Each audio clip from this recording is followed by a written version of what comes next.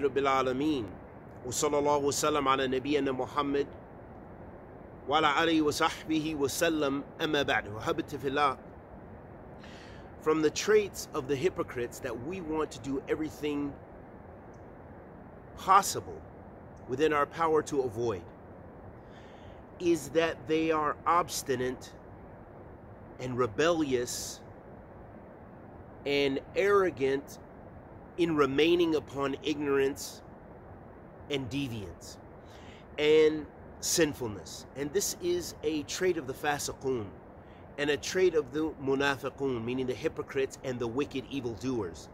Allah subhanahu wa ta'ala mentions uh, to his Prophet Muhammad sallallahu alayhi wasallam in the Quran, in Surah Al-Munafiqun, Allah tabarak wa ta'ala says, في كتاب الكريم, وإذا قيل لهم تعالوا يستغفر لكم رسول الله لو رؤوسهم ورأيتهم يصدون وهم مستكبرون.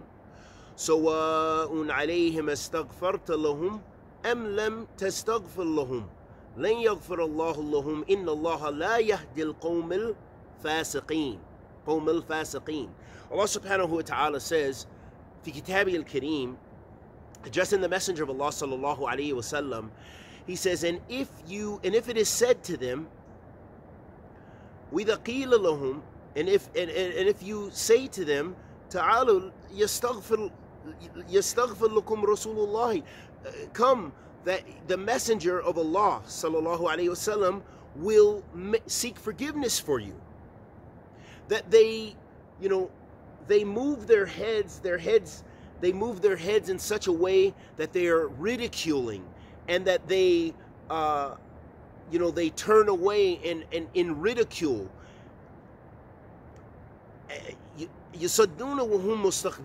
And in order to to close off the path of guidance you know they do this to ridicule instead of accepting this guidance from Allah subhanahu wa ta'ala through his messenger sallallahu alaihi wasallam uh, and instead they do this with arrogance out of kibr out of arrogance and regardless of whether you sought forgiveness for them or you didn't seek forgiveness for them, Allah will not forgive them.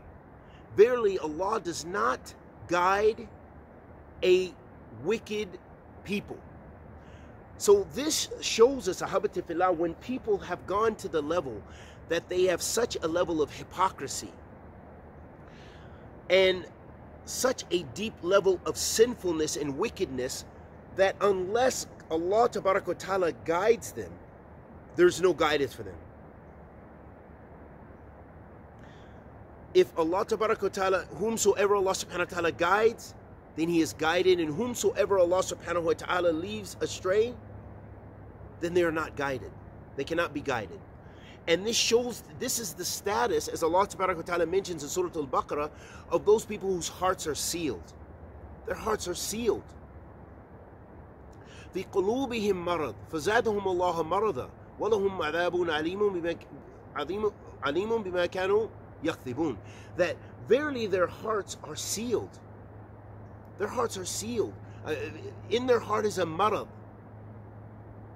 That they have a sickness and Allah subhanahu wa ta'ala increases that sickness in their hearts why out of injustice no Allah ta'ala is al-adil but he knows that they will refuse guidance. He knows that those are the hypocrites, the people who say on their tongue that they believe in Allah Ta'ala and they believe in the Messenger of Allah Sallallahu Alaihi Wasallam and they believe in the pillars of Islam and the pillars of Iman, but in their heart they don't. They detest it, perhaps. Perhaps they hate it. Perhaps they are Jesus. They are spies even on the religion of Allah Ta'ala.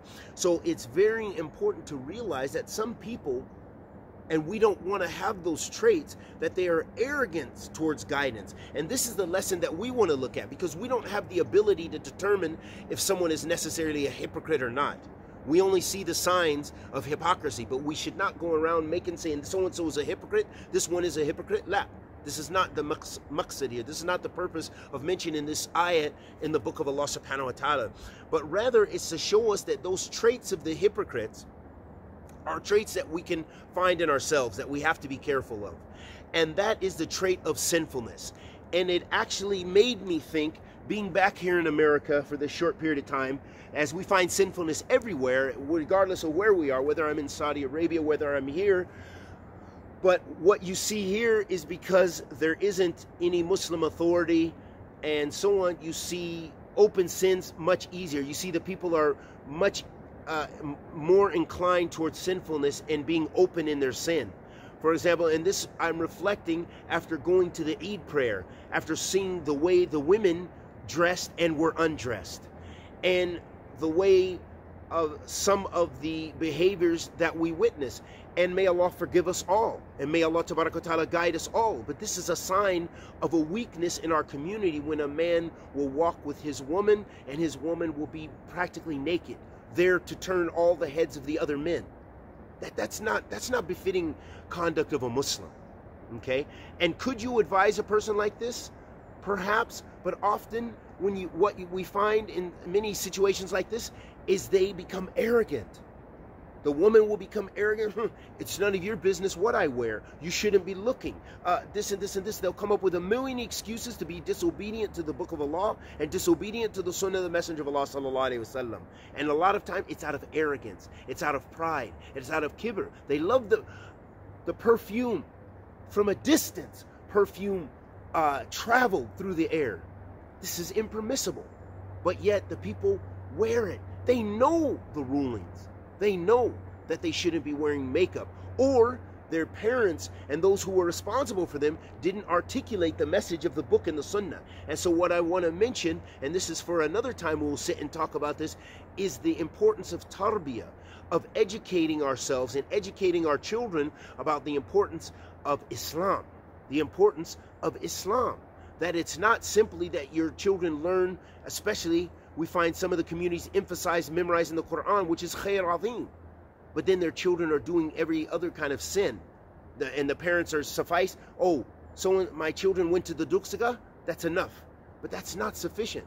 They need to know and have love uh, and understanding and to be raised and to be comforted by the adults uh, and, and be able to communicate with the adults to be able to continue to practice, that we have a lot of work to do as Islamic communities and Islamic minorities throughout the world. In fact, you will find this even in the Muslim lands, that the Muslim youth are in great danger and in great need of tarbiyah.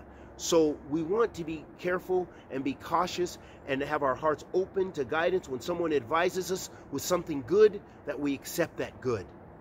And we ask Allah the Almighty to accept our good and forgive our evil. Wa sallallahu wa sallam ala nabiyyina Muhammad wa ala alihi wa sahbihi wa sallam.